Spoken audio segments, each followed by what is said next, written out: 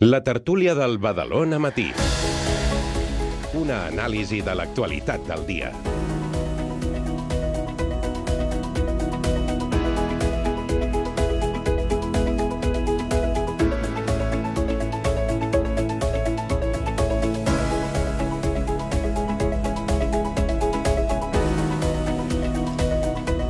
I a aquesta hora del matí donem la benvinguda als nostres convidats a la tertúlia. Avui ens acompanyen Fran Famades, hola, què tal? Bon dia, Núria. En Marc Alomà. Bon dia. Bon dia. En Mario Roviralta. Bon dia. Benvingut. I l'Aniceto Ramírez. Bon dia. Molt bon dia. Abans d'entrar en matèria, avui tenim molts temes sobre la taula. Us recordem també quines són les fórmules per participar a la tertúlia. Participa a la nostra tertúlia. Digues la teva a X fent servir el hashtag BDNmatí. També pots escriure'ns o enviar un missatge de veu al WhatsApp del programa 689 81 63 73 o deixa la teva pregunta al 93 395 4004.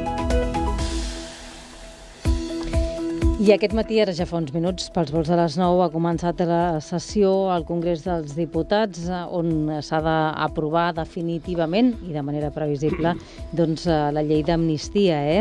En aquest punt és quan entrarà en vigor després de ser publicada al BOE i la seva aplicació ara ja sí quedarà en mans dels tribunals. La norma requereix la justícia d'adoptar-la de manera preferent i urgent i això vol dir que els jutges tindran un període, un termini d'uns dos mesos per aplicar-la en cadascun dels procediments judicials que hi ha oberts. Eh?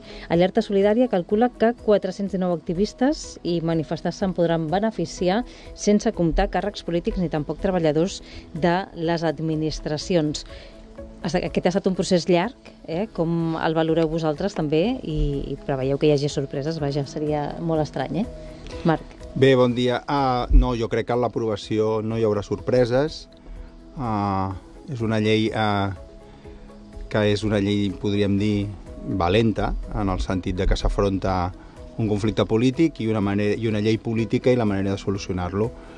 Uh, crec que la llei, després de, dels periples de, quan la que, ha estat, la que probablement s'aprovarà d'aquí una estona doncs és bastant sòlida pels, pels... jo l'he tingut l'oportunitat de parlar bastant o, o inclús vam fer un acte aquí a Badalona amb el Gonzalo Boye i el Josep Pagès que són dos dels redactors de la llei jo crec que l'element clau és que l'aprovació i l'entrada en vigor a l'endemà de publicació doncs s'han d'aixecar totes les mesures entre les mesures que s'haguessin adoptat entre ells les ordres de detenció i eh, és veritat que, que, que vivim en un país en el qual eh, doncs en un correu electrònic del govern dels jutges doncs, eh, eh, es publicava una guia com eh, no aplicar-la o com eludir l'aplicació de la llei. Ja no em poso amb el tema de divisió de poders i que les lleis eh, s'han d'aplicar, però esperem. Jo crec que, com deia el Gonzalo Boye, si eh, segons què fan els jutges i no l'apliquen, doncs eh, estaran prevaricant. Allà cadascú amb la seva responsabilitat, i jo crec que la llei tirarà endavant i que era una llei necessària i, i repeteixo, eh, i no vol dir-ho al contrari, crec que és una llei valenta per, per part del partit eh, que ho està encapçalant, que és el Partit Socialista Espanyol. Eh, és evident que ha pactat amb els partits independentistes, especialment al final del trajecte amb Junts, eh, que va posar un, unes línies, eh, allò que en diem línies vermelles, però bé, eh, és per un, una nova etapa en la qual diríem que posem el comptador zero, i que serveix, jo crec que és una llei molt... Que, que, que si ho preguntéssim a la ciutadania de Catalunya i no sé si de l'estat espanyol, la majoria de la gent estaria d'acord en, en que és una bona eina. Dius, però, que has tingut accés a, al text. mm, Hi, ha, hi cap una interpretació molt oberta o no? O com amb la resta de les lleis passa? Mira, eh, jo crec que, a més a més, com que és una llei que s'han anat opinant també des de foros judicials abans de la seva aprovació i aplicació, eh, també els que l'estaven redactant van prendre mesures. És a dir, jo crec que és una llei que aquesta guia feta pels jutges per saltar-se l'aplicació de la llei ja corria fa temps. Corria abans de l'aprovació de la llei i els que la redactaven s'ho van llegir també. Per tant, van intentar, des del punt de vista jurídic, blindar eh, la possible no aplicació de la llei, però, bueno, eh, escolta, eh, ja s'ha vist que, que els jutges eh, són independents i prenen les seves decisions però jo crec que a mi em comenten, i jo no em dedico al dret penal, però, però que està bastant acotada i que no dona molt de marge a la interpretació, és bastant clara. Anem a veure aviam què passarà. Sí, eh, bueno, jo crec que Marc la, la descriveix perfectament, o sigui, és una descripció bastant acurada, no? Eh, sí, ha de, aquesta llei de significar una vegada aprovada un abans i un després.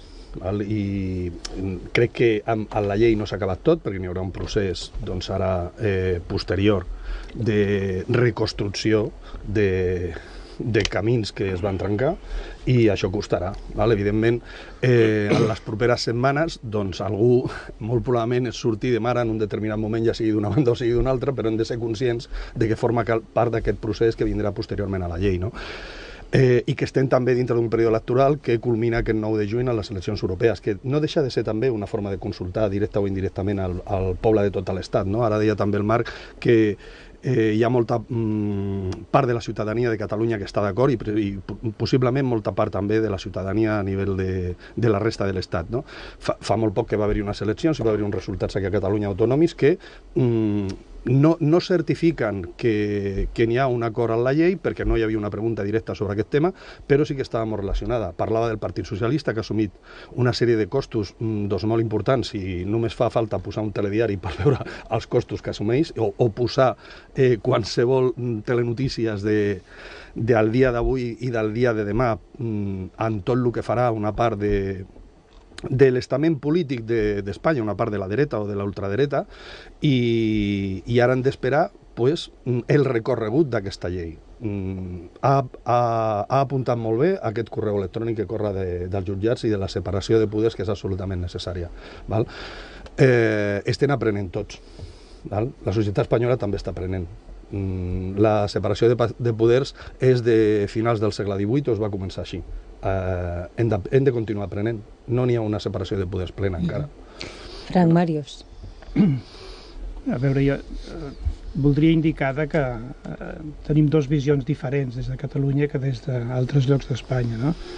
Eh, per les eh, amistats que tinc en els àmbits universitaris espanyols eh, hi ha un cansament bastant gran sobre que s'hagi centrat tot un, un debat eh, legislatiu amb, amb l'amnistia, que és important per nosaltres i és fonamental per fer un canvi de situació en la que estàvem, però és veritat que des d'un altres entorns d'Espanya hi ha problemes socials, problemes molt imminents que no s'estan tractant i que veuen que és impossible en la situació actual i que segurament serà impossible en tota la legislatura perquè encara que avui s'aprova, avui comença ara la segona part, que és tota la discussió que hi haurà per frenar-ho i per tant per descalificar i per fer tot el que es pugui.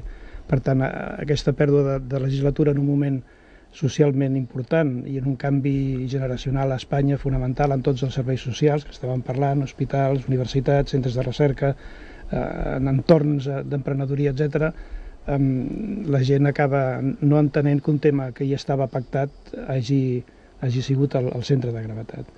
Però eh, aquest tema que és, és, que és important està sobre incorporat en una discussió que hi haurà a partir del dia després de les eleccions per una pujada a l'extrema dreta a Europa i per una guerra a Ucraïna que no està solucionada i que eh, explosionarà dintre de molt poc amb un conflicte més gran, un conflicte més econòmic i per tant eh, l'horitzó que tenim és un horitzó poc clar. Ara bé, el tema de la, de la, de la valentia en què s'ha fet el tema de l'amnistia era important i segurament s'entén menys que hagi sigut el centre de gravetat posteriorment a que ja s'ha vist que estava ben pactada i ben acordada, que sigui cada, cada vegada un, un, un punt de, de, de descalificació que intel·lectualment fa pena. De fet, aquestes necessitats socials no, que apuntava el Màrius a altres indrets de, de l'estat espanyol també mm, afecten Catalunya, com no, i, i el, el debat no, de diverses qüestions ha de poder-se donar de manera paral·lela. O no, sí, està clar que, que tot, o al final es contaminen que tot hem de tirar endavant, no, no, no podem centrar-nos només en una... Bueno, no poden, uh -huh. no, els que manen, i a casa meva eh, rento plats, però a més a més faig el dinar i frego, i, i, i frego terra, diguem, o sigui, no és que, com que només rento plats, només puc rentar plats, diguem, no? Perquè si no, la, la brutícia s'acumula. Però jo el que volia dir és que l'amnistia no entraré, evidentment, a parlar de qüestions judicials i menys al costat d'un advocat, però eh, l'amnistia no deixa de ser més un reflexe del problema que té Espanya d'autodefinició com a país que el porta arrossegant des de que la Isabel i en Fernando es van casar. Eh, eh, I estem parlant del 1490 més o menys. No sé, el 92 van descobrir Amèrica, doncs el 90 o 80 i tants es van casar. Són diferents regnes que es van ajuntar pel que sigui i que no s'han sabut definir mai. Llavors, què passa?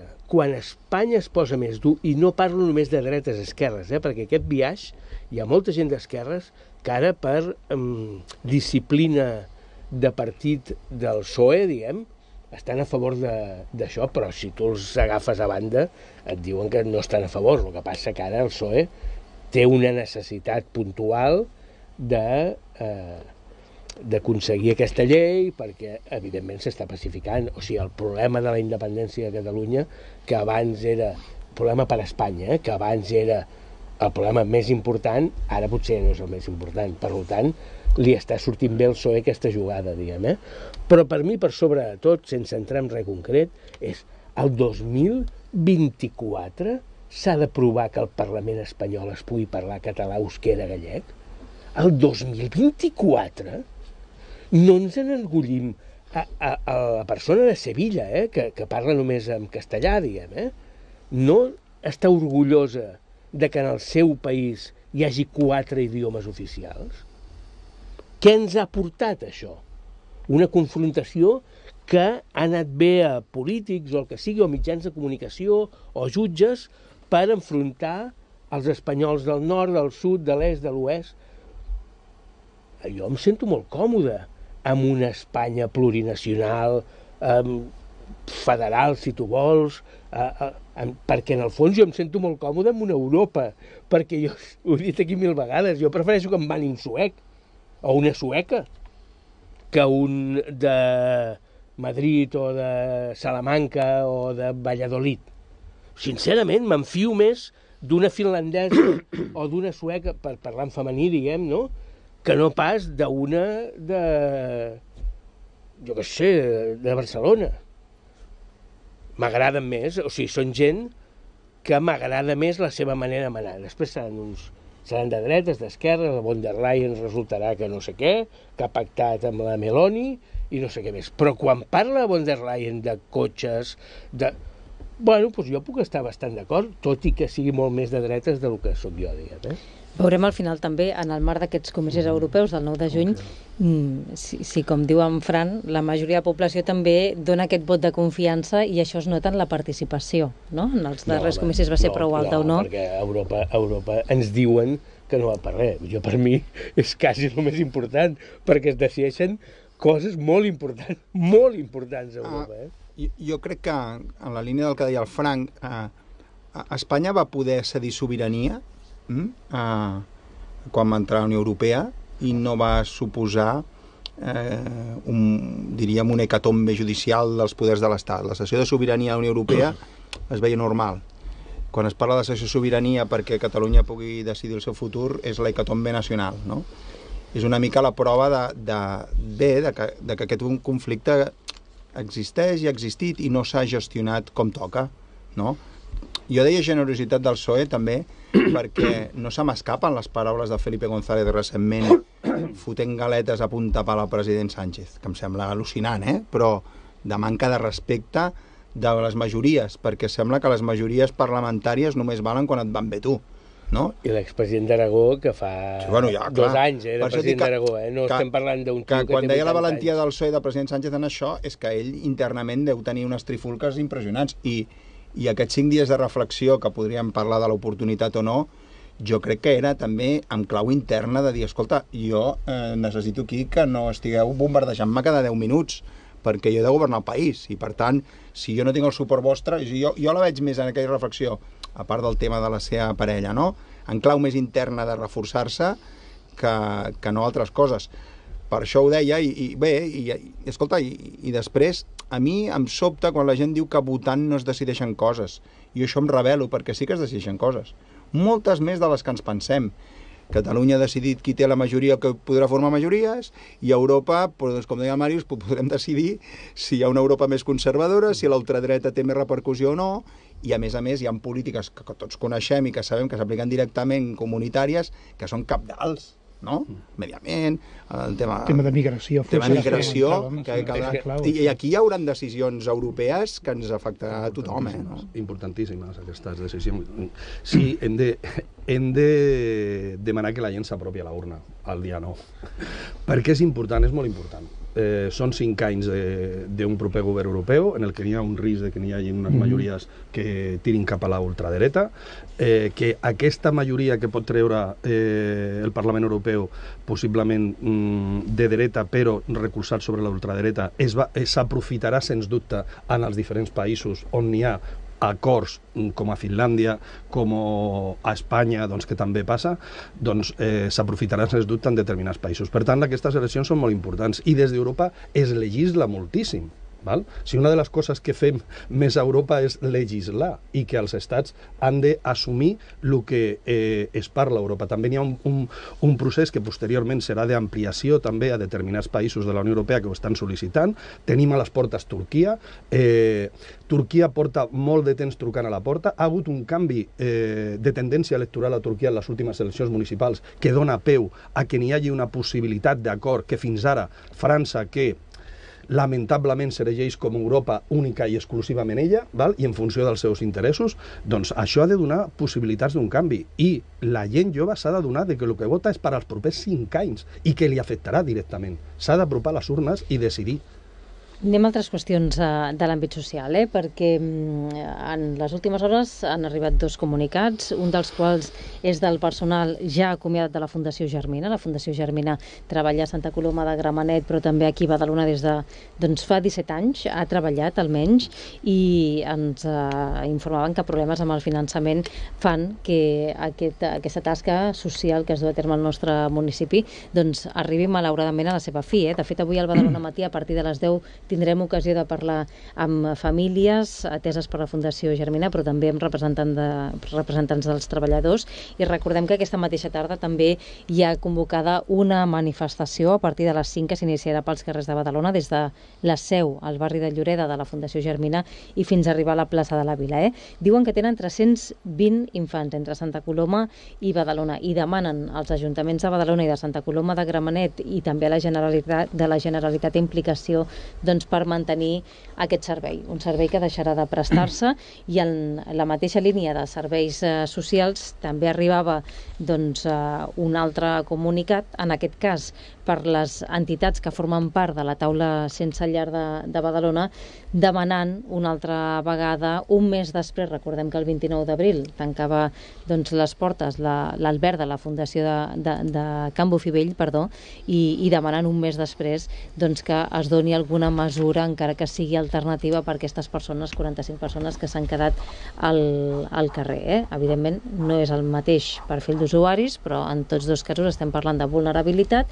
i d'entitats socials que treballen o fins ara treballaven al nostre territori. Màrius. Deixa'm eh, parlar de, de la Fundació Germina perquè en el campus d'alimentació de Torribera de la Universitat de Barcelona, que està a Santa Coloma, i hem estat treballant durant molts anys amb ells. Tingueu present que el nombre aquest que deies de, de nanos, una de les parts més importants és la, la malnutrició eh, per un tema mm, social important, i, i crec que està succeint en aquest cas un tema que, que és eh, general en aquest moment i és de que no s'està adonant la gent de que aquestes iniciatives que són socials però que tenen un, un, un punt públic-privat són fonamentals perquè és la riquesa del territori, són els que coneixen més el territori. No, no, no, pot ser que es digui bueno, que se'n vagin a l'aigua perquè això ja ho ha de fer-ho l'administració. És un error. L'administració té un nivell d'obligacions i han d'estar complementats amb iniciatives que són del, del teixit i de la comunitat social que porta que aquest, aquest entorn públic-privat sigui molt més ric. I en aquest cas és més trist perquè agafa un dels elements més crítics, que és un territori amb una gran crisi i en els nanos, que és una fundació que, que realment ha fet una feina el que haurien de fer avui és donar-li un premi, no, no, no tancar-la. I per tant, com a responsable del campus d'alimentació de Torribera, que hi hem treballat amb ells molts anys, realment avui és un dels dies tristos i jo aniré a la, a la, a la trobada que faran. A la manifestació d'aquesta tarda. Bé, no, com deia el Màrius, és que arriba un moment que, que les administracions públiques eh, han de fer un pas endavant. Eh, tu pots dir, fan una bona tasca, eh, estaria bé que se, doncs, doncs no n'hi ha prou mirar-s'ho, posar-se de banda o fer veure que no va amb tu. A mi em fa molta gràcia quan a vegades aquí hi ha algun, algun membre de, de, del govern municipal bueno, és que això no és competència de l'Ajuntament. I, i, I això, miri, si competència de l'Ajuntament probablement no seria cap llar d'infant, no? I no són competències municipals, però se'n fan perquè són necessàries. Llavors, l'Ajuntament ha d'actuar, ha, de tenir mecanismes per, quan hi ha necessitats socials, actuar. I si a més a més té la sort de que gent voluntària, gent professional de, de, de l'àmbit privat, doncs, i, doncs endeguen iniciatives d'aquest tipus, doncs has de donar suport i no pots mirar una altra banda. Per mi és un escàndol i una molt mala notícia. Esperem, si és que encara hi és a temps, que les diferents administracions, i especialment les municipals, prenguin partit i a més a més, quan a vegades parlem de magnituds econòmiques del pressupost municipal o, o algú que, que es va a la glòria de que té no sé quants milers d'euros de, de, a, la, a la caixa, doncs escolta, els diners de la caixa eh, a l'administració pública no serveixen per res. O sigui, eh, de quan estem parlant? És que potser el que ens sembla una barbaritat de, de, de drama, econòmicament no és tal fortuna mantenir això, eh? Vull dir que no són però, tants diners. Però el problema eh? que tenim és de que qui ha mirat això econòmicament no en té ni idea. Ah. Perquè els intangibles d'aquestes fundacions, en termes socials, que els podries comptar també en termes econòmics, és brutal. Les hores que hi dediquen, la, la intel·ligència que col·loquen per fer imaginativament accions per promoure, això no es té en compte i evidentment no surt al compte d'explotació. Les quantitats són petites, però ara hi ha una tendència que hem vist, i el segon tema suposo que tornarà a sortir, de que algunes administracions volen retallar per tenir, diuen que allò no els hi toca, per tant, si és un problema social, doncs ja, ja, ja explotarà. No, no, és que la irresponsabilitat és fer explotar i després solucionar-ho. Primer soluciona-ho mentre es manté, es busquen millors solucions, però no es trenca, perquè al trencar-ho deixes una quantitat de gent que confia en un entorn públic-privat, administració i iniciativa privada, eh, i per tant desconfiarà de, de la situació en la que ens trobem. Jo crec que les dues notícies que ens has posat, mm -hmm. Núria, són una molt mala notícia de com fem l'administració i d'on podem anar a parar si no frenem aquesta diguem-ne, aquesta tendència de primer trencar i després anar a veure què passa. De fet, en relació a, a l'Albert de Can Bofivell, eh, la taula de sensellarisme a Badalona diu que s'ha reunit en diverses ocasions amb l'Ajuntament de Badalona i lamenta, això sí, que no s'ha arribat a un acord ni que sigui, explicaven ells, per un pla de xoc respecte a l'alimentació, abans que parlaves, Màrius, de la malnutrició, no? que afecta també aquestes persones. Abans doncs, hi havia un servei de menjador a la Masia de Can Bofivell i demanen que ni que sigui doncs, es mantingui d'alguna manera aquesta ajuda alimentària. A mi, a mi em costa una mica opinar sobre això, perquè jo cada vegada que sento notícies de l'administració i en especial de la, la de Badalona, he de destriar si és per inutilitat o és per voluntat política. I encara no he arribat a, a saber si és que no en saben més i s'ha acabat morint perquè no en saben més, o no s'ha renovat un contracte, o no sé què, que em sembla gravíssim, o per voluntat política, que per voluntat política es permeti que hi hagi gent que no pot menjar, mm, siguin infants o siguin adults, eh? perquè són dues coses diferents, però estem parlant de la, de la pobresa extrema, mm. no? que com que miro, miro cap a una altra banda, l'efecte estrus, no sé si encara s'utilitza allò d'amagar el cap sota l'ala. Per tant, de les dues maneres em sembla gravíssim. Ara, sincerament, no puc parlar de si és que, com que mana un partit de dretes a Badalona, no estan a favor d'ajudar el d'allò, podria ser, o l'altre és que no en saben més.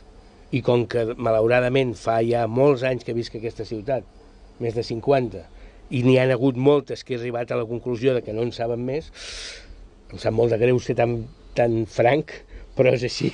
De fet, recordem que pel que fa a l'Albert de Campo Fibell, el tancament ha vingut, entre d'altres, donat per aquest motiu d'impagament de 1.700.000 euros a l'empresa que ho gestionava i que aquest impagament es remuntava al 2021. Eh? Per tant, hi ha hagut diversos governs. Sí, no, no, evidentment, ha hagut diversos governs. Fins i tot ahir a les Montornès deia que la Generalitat de Catalunya donava un condovat durant sis mesos per intentar arribar a un petit acord en Camp mm. Bufivell. I per part de l'Ajuntament, ara retomant el que deia el Fran, doncs jo crec que són les dues teories, no? la incompetència, la fallida de la principal institució que tenim a a, Badalona, que és l'Ajuntament, que és la que emplea més gent i és la que ha de decidir directament eh, en aquest sentit doncs, eh, d'aquestes polítiques, que no totes han de venir només per la part política, sinó també per als càrrecs eh, en aquest sentit de, del propi Ajuntament, càrrecs que, que tenen certa importància, que se n'adonen d'aquestes coses perquè els hi arriba la informació molt, molt abans. Val?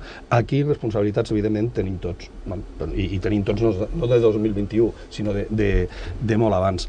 A Badalona n'hi ha moltíssimes institucions que fan una tasca impressionant, eh, l'Ateneu de Sant Roc, eh, Càritas, Creu Roja, eh, a la Salut també, o sigui, hi ha Perdona que t'interrompi, els amics del Gormar, per exemple, Sí. que ara ahir s'anunciava que l'Ajuntament ha posat en marxa el procediment de construcció de, de la nova piscina a l'antiga Sí. fàbrica de la Focus i I- i recordem on que això parar? implicarà un canvi d'ubicació d'aquesta associació que gestiona el Banc d'Aliments, eh, o l'ajuda del Banc d'Aliments. I, I per què tenim tantes institucions eh, mm, semi entre privada i pública, com deia Màrius, no? Doncs perquè n'hi ha una necessitat molt clara.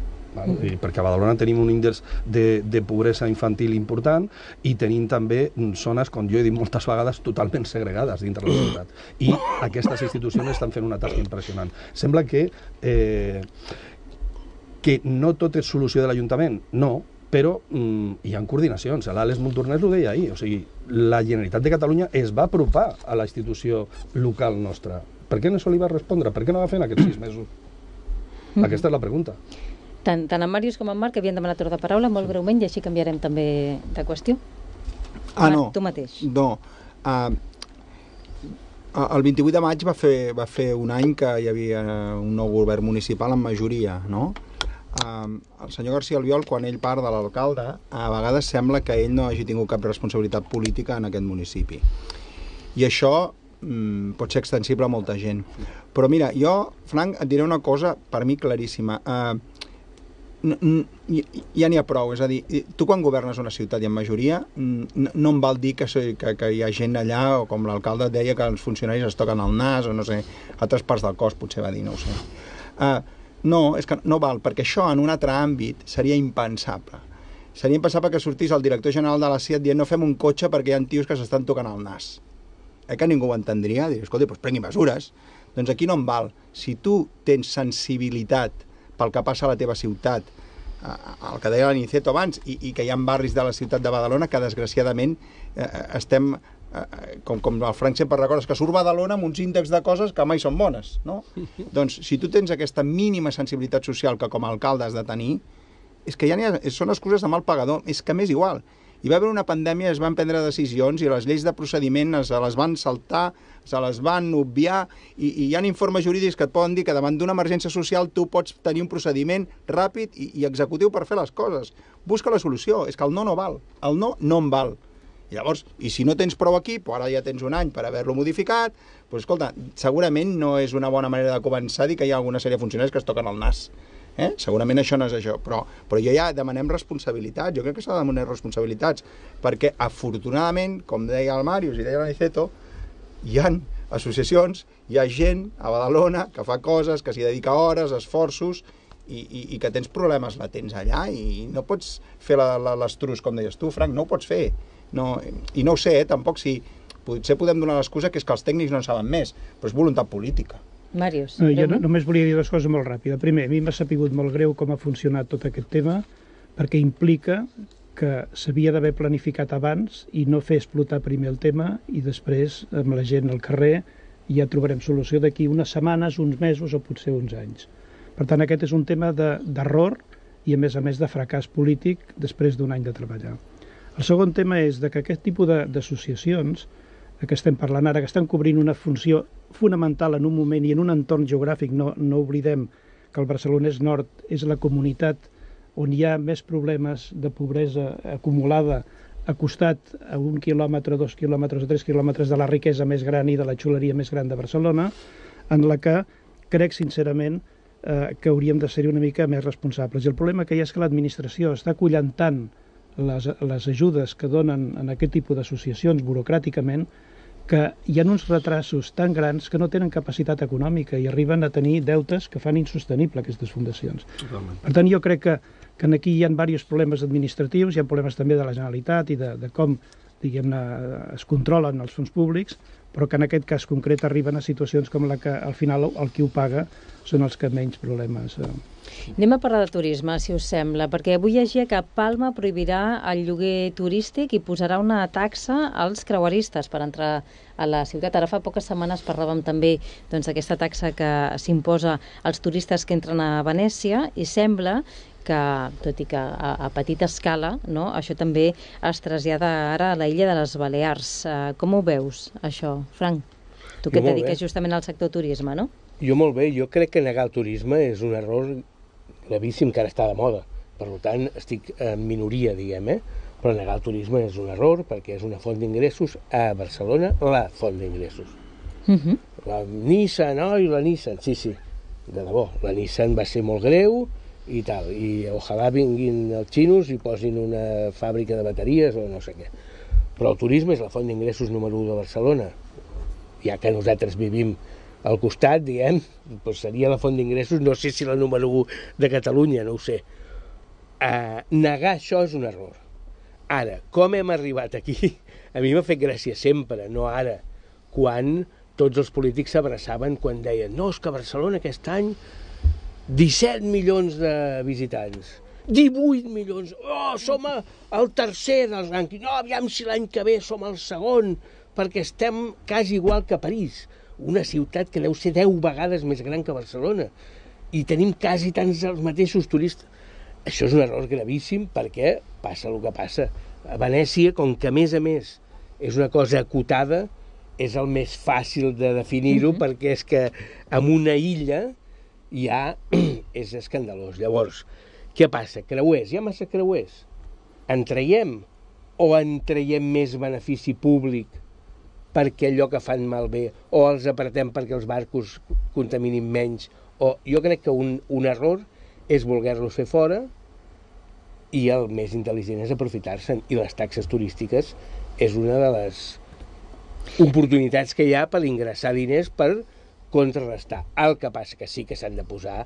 Eh, ja fa temps que no parlo de teoria turística, mhm. -huh. però en, com es diu això, càrregues, em sembla es diuen, es diuen càrregues, eh, eh, s'han d'eliminar les càrregues de les ciutats. Llavors, a Barcelona la càrrega és X, a Badalona, oh, compte, a Badalona estem arribant a unes càrregues altes, eh? perquè ara hi ha molta gent que ja no pot viure al centre de Badalona perquè hi ha molts edificis turístics. Com que no estan publicats no ens en donem compte, però si passegem pel centre de Badalona, quants estem escoltant que parlen anglès, mm -hmm. Italià... Centre de la vila afromarítim, eh? sí, sí, totes aquestes això, àrees. Eh? Clar, aquí a, a Palma no és només eh, això, la imposició d'aquesta taxa als creueristes, sinó també la prohibició de, de lloguers eh, vacacionals, diguéssim, en, en els habitatges que són unifamiliars. Doncs, no, no, doncs miren, aquí, agafant el que deia el Màrius abans, potser també passa que anem tard. És a dir, que la planificació de quin tipus de turisme volíem, de quin tipus de ciutats volem, d'on volem viure, de les prioritats, doncs ja anem tard. I jo crec que, coincideixo en el Frank, que, que criminalitzar el turisme em sembla una bajanada, però potser coincidiríem que mm, quin tipus de turisme volem. A Barcelona, que el tenim al costat, doncs podia optar per un turisme de més qualitat, no? Què fa el turisme de més qualitat? doncs eh, vol una sèrie d'incentius o vol una sèrie d'atractius per anar a ciutats, no? Barcelona en si ja ho té, eh? monumentalment parlant, però potser, ja no dic l'ermitatge i aquestes coses que es deixen escapar, però que potser fan que hi hagi un tipus de turisme. I el tema dels creuers, jo crec que aquí passarà una mica a, també un com canviaran els creuers i el tema elèctric en els creuers i tot això, però l'impacte que té la ciutat segur que és brutal i a mi no em sembla una mala, una mala idea el que fan a Palma, però caldria planificar a mig termini cap on vols anar, no? Mm. I això no s'ha fet, crec. Sí, eh, clar, és la principal font d'ingressos que tenim a, a, a l'estat del turisme. No? Mm, l'altre dia parlàvem també aquí a la ràdio d'aquest tema i deien que molt probablement quan arribi el mes de desembre doncs, diguin que hem arribat als 100 milions de turistes per primera vegada a tot l'estat. I és molt probable que s'arribi a aquesta xifra i que, per tant, doncs, passem a ser la... consolidar ja aquesta segona posició a nivell mundial doncs, mm, de, visitants turist... de visitants turistes aquí a, a Espanya. Però jo parlo ara en clau més local, que parla també a Ferran abans, no? Badalona també està rebent un impacte important. Per què? Perquè ha hagut una millora de tot el litoral nostre des del desenvolupament del passeig marítim, que encara queda l'última fase, que és l'apertura del canal. Eh, aquest turisme no és un turisme que vingui tampoc de molt lluny, hi ha una part que ve, però bueno, jo crec que dintre de l'impacte que tenim tampoc és significativa. Val? Eh, però sí que hi haurà un impacte turístic de, de Barcelona, de Santa Coloma, de Sant Adrià, de la gent del Maresme que vindrà a visitar. Ja passa, eh? O sigui, l'altre dia va haver un tuit, em sembla, de l'Associació de Veïns del Front Marítim, d'un cotxe que estava aparcat sobre les taules, que estava traient les, les taules que estaven acabades de pintar. Vale? doncs el cotxe havia aparcat a sobre i resulta que estava traient totes les taules i totes les cadires per passar el dia. Val? També va fer un tuit al, al 3 o 4 dies de que hi havia problemes perquè un diumenge resulta que hi ha un carril bici allà al passeig marítim i que tenim problemes perquè, clar, les bicis passen, però és que n'hi han possiblement 70.000 persones que durant tot el dia, que les compten quatre vegades, eh, que passen i venen i venen i passen per el passeig marítim i l'impacte és enorme. En el moment que s'obri el canal, val, això serà un impacte, cada cap de setmana, serà un impacte impressionant. Ara, com bé deies tu ara, s'ha fet alguna previsió sobre el tema?